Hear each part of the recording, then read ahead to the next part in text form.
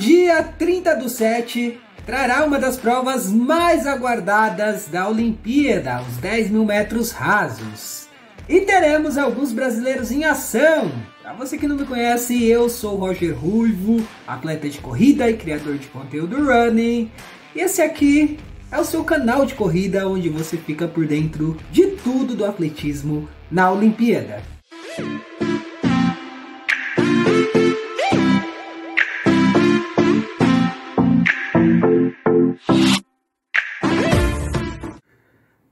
Começando a meia-noite 15 com as eliminatórias dos 100 metros rasos para as mulheres, onde teremos a brasileira Rosângela Santos, que é atual recordista sul-americana com 10,91, tentando uma vaga na semifinal, na torcida pela brasileira. Os destaques dessa prova, com a saída da americana Shakira Richardson, são as jamaicanas Shelly Fraser, que lidera o ranking esse ano com 10,63 e é atual campeã mundial, e Elaine Thompson, que é atual campeã olímpica do 100 e tem a segunda melhor marca desse ano com 10,71. Avançando para amanhã de sexta-feira, começando às 7 horas, teremos os 5 mil metros rasos para as mulheres, com duas séries semifinais. Na primeira, Sifan Hassan é a grande favorita a avançar ali em primeiro e até para a medalha de ouro. É uma das minhas apostas, inclusive. E na segunda série, a gente vai ter a atual campeã mundial, Ellen Obiri, além da etíope Gudaft Segei, que é líder do ranking esse ano e tem o melhor tempo de partida com 14 e 13, um pacezinho de 2,50 por quilômetro. É só semifinal, mas eu diria que na grande final a gente deve ter as medalhas entre essas três atletas aí, pelo menos duas delas, né?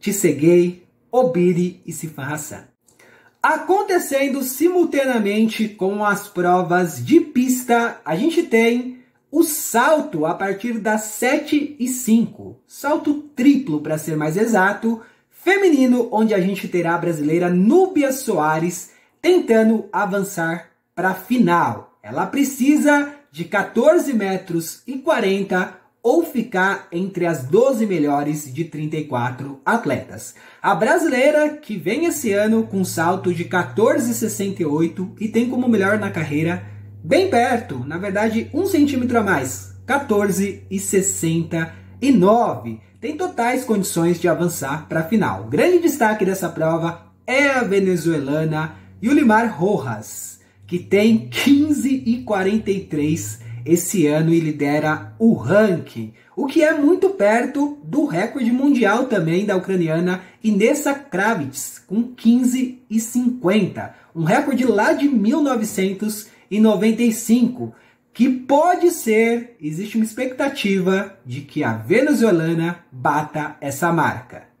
Depois vamos para o campo, começando às 7h25 o arremesso do peso para as mulheres onde a gente vai ter aí a brasileira Geis Arcanjo tentando uma vaga na grande final. Para isso ela vai precisar de 18 metros e 80 no seu arremesso ou ficar entre as 12 melhores. Ela tem como melhor marca na carreira 19 metros e 2 e nessa temporada 18 e 39. As grandes favoritas dessa prova são a chinesa Li Jiaogong além da neozelandesa bicampeã olímpica Valerie Adams, e é bom ficar de olho nas americanas. E a penúltima prova do dia é o 4x400 misto, modalidade que estreia nessa Olimpíada, e a gente tem o time brasileiro, que vai tentar uma vaga na final. Para isso, precisa ficar aí entre os três primeiros da série para avançar direto. Caso não consiga, tem que ficar ali pelo menos em quarto, porque daí entra mais dois melhores tempos para completar oito equipes na final.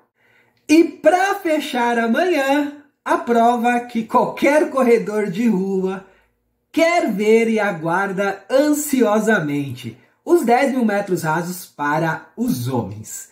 É uma prova que está muito aberta e tem vários favoritos. Salomon Barega, Yomi Fikegelcha, Ronix Kipruto, Rogers Kuemoi, Jacob Kiplimo e Joshua Cheptegei seriam os principais nomes.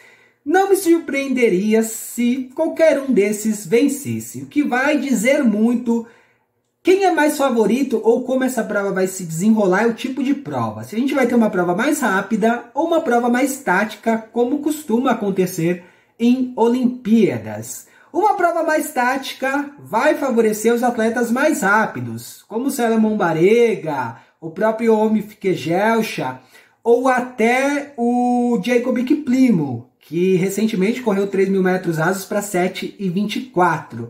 Joshua Cheptegei também é um forte candidato, mas eu diria que para o sprint final, não sei. Apesar dele ser o recordista mundial com 26 e 11, atual campeão mundial, eu, Ruivo, não vou colocar Joshua Cheptegei como favorito ao ouro.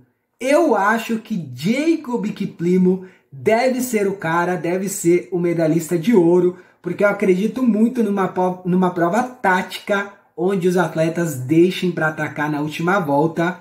Então fiquem ligados, porque a gente vai fazer uma live no Instagram do Corraco Ruivo para acompanhar, comentar essa prova com vocês a partir das 8h25 da manhã. Esse foi mais um vídeo aqui. Amanhã a gente volta com o vídeo de número 3 falando sobre a sessão noturna pra gente, diurna, lá em Tóquio. Muito obrigado se você assistiu até aqui. Não deixe de se inscrever no nosso canal no YouTube e deixar seu like. Fiquem com Deus, bons treinos e amanhã a gente volta.